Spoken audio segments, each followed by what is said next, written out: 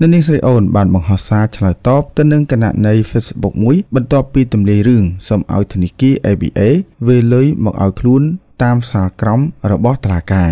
ប្រិមត្តពុកម៉ែបងប្អូនប្រកាសជាបានដឹងហើយថ្មីថ្មីនេះនៅនាងស្រីអូនស្រាប់តែបង្ហោះសារគួរឲ្យភ្ញាក់ផ្អើលមួយដោយអ្នកនាងបានស្នើសុំឲ្យខាងធនាគារ ABA ធ្វើការវេលុយមកឲ្យខ្លួនដោយស្របទៅតាមសាក្រមដែលបានសម្រេចដោយអ្នកនាងបានលើកហេតុផលថាធនាគារផ្សេងផ្សេង គេបានអនុវត្តធ្វើតាមសាលក្រមអស់ហើយនៅឡើយតែធនាគារ ABA មួយគត់ដោយក្នុងនោះអ្នកនាងស្រីអូនបានសារភាពត្រង់ត្រង់ថារូបអ្នកនាងពិតជាលំបាកខ្លាំងណាស់នាពេលបច្ចុប្បន្នស្ទើរតែចង់ចងកសម្រាប់ខ្លួនម្ដងម្ដងទៅហើយចំណាយប្រចាំខែសងអំណុលទើបខ្លួនដាច់ចិត្តទម្លាយរឿងមួយនេះនៅក្នុងនោះដែរអ្នកនាងស្រីអូនបានបញ្ជាក់ថាអ្នកនាងមិនបានធ្វើរំលងច្បាប់អ្វីនោះទេ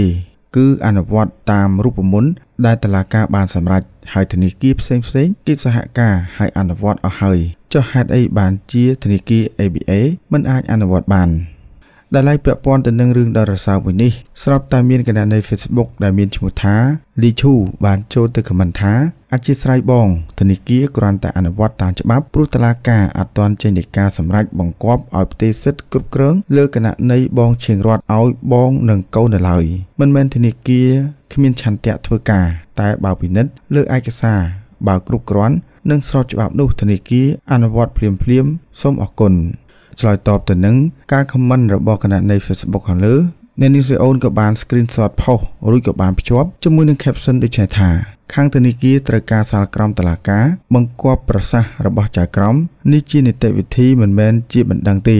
មិនបាច់បង្គាប់ត្រឹមពាក្យគ្រប់គ្រងចាត់ចែងគឺគ្រប់គ្រាន់តឡាការបានចេញសារក្រមសម្រាប់ជាស្ថាពរឲ្យនាងខ្ញុំមានសិទ្ធិគ្រប់គ្រងនិងចាត់ចែងលើទ្រព្យ លុយក្នុងកងធនាគារដូច្នេះធនាគារត្រូវតែអនុវត្តតាមសាលក្រមសម្រាប់ជាក់ស្ដែងធនាគារផ្សេងគេអនុវត្តតាមទាំងអស់លើកលែងតែ